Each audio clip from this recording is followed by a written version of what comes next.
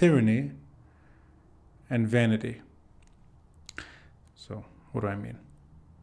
And if this goes off, if this goes really astray, uh, if by the end of this episode none of this makes sense, I apologize. It's Saturday night.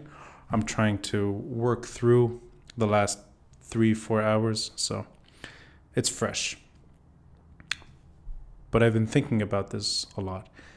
Power in itself is not an accomplishment.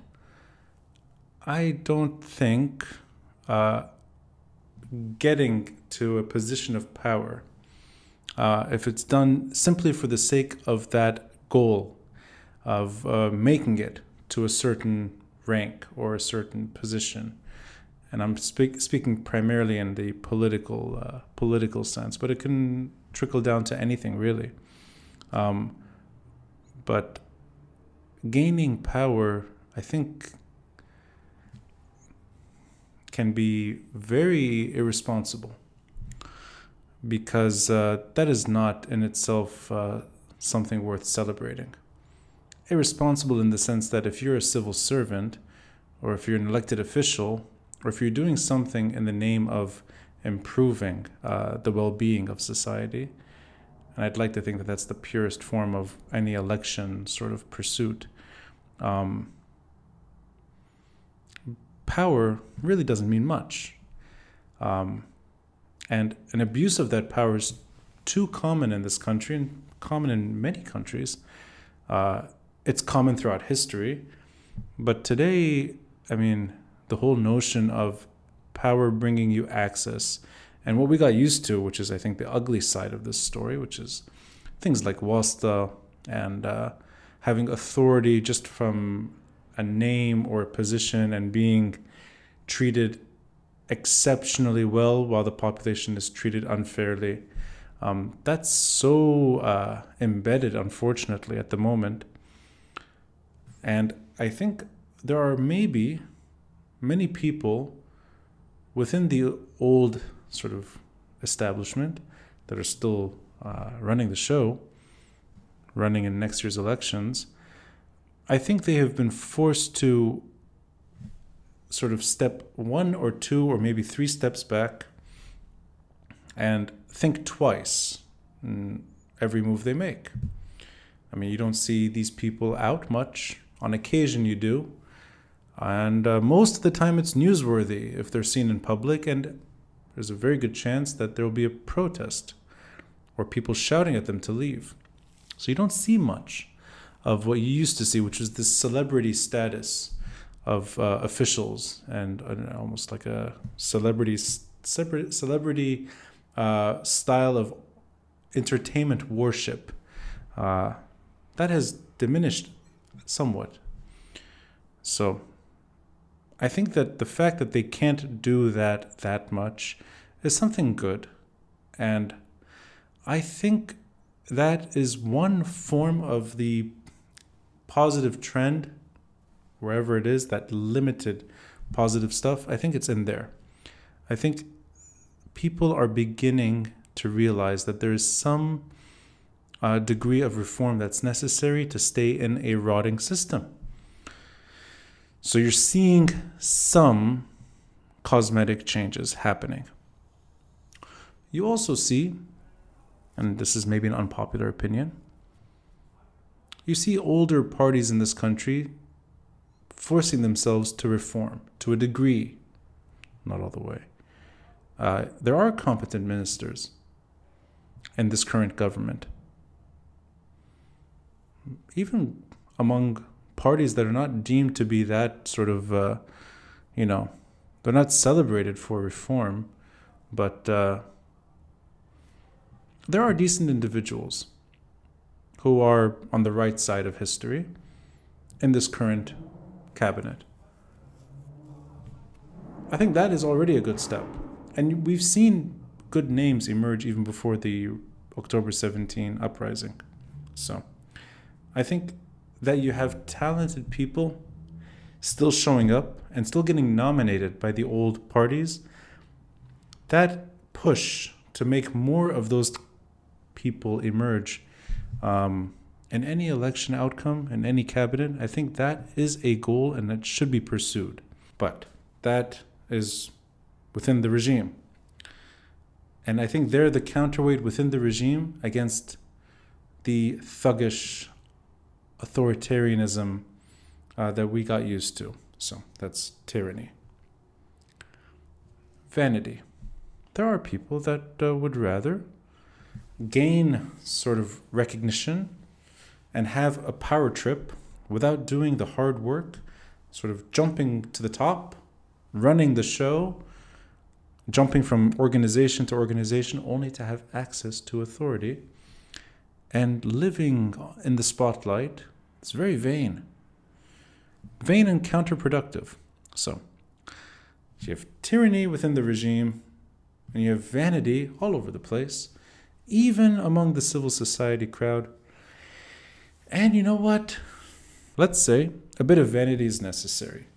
And let's say ego by default is a necessity. It's a critical, let's say, uh, it's an essential skill. Skill, it's not a skill, trait, characteristic to want to run for politics, especially in this country. Let's say you need a bit of it. Okay.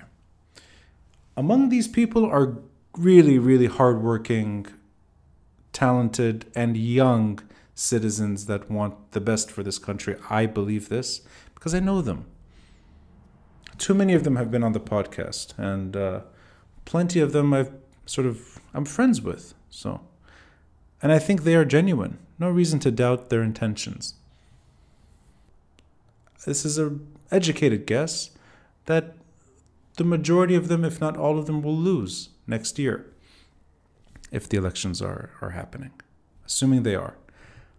So then the question becomes is it good to burn your name next year against the regime figures that many of them are expired, but some of them, some of them are beginning to move in a better direction.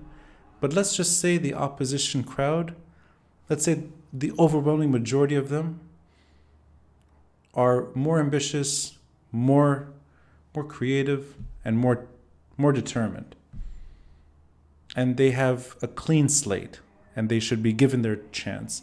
Is it worthy for them to lose just by putting their name out next year, but losing against a crowd that maybe they should easily win against? And if they do lose, is that in itself okay if it pushes the regime to keep reforming? so that these people that are let's say they, they lose against the crowd that's fairly mediocre and let's say some of them are beginning to do things the right way.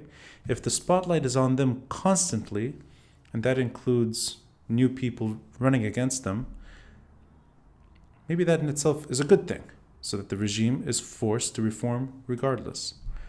Maybe that's actually maybe that's a good step. But I'm worried about vanity being the force behind some people that uh, really just want attention. And I don't know if, uh, I mean, it can't be that everyone is running for next year's elections, and it shouldn't be that way. And uh, I, I don't know if, I mean, maybe a friend of mine who belongs to one of these opposition parties, I'm not going to name him or the party, had a private exchange, and he's right. I should say, he or she is right. They are right. Doesn't matter. That it's you should start small. Don't even need to run next year. Work within the smallest channels possible. Build long term. And then pursue if not 2026, pursue 2030. I mean, or maybe even just skip next year and let this coming stretch be the building blocks and the politicking and the really just building the base that clearly is not there yet so that one day there's a maturity and you can compete. And maybe by then, something which is, I think, existential at this point, that the regional temperature would have cooled, and maybe Lebanon would be in a slightly better place by then. Because you don't want these people who are good now, you don't want them, if they win, you don't want them to not be able to do anything, given that the status quo hasn't changed.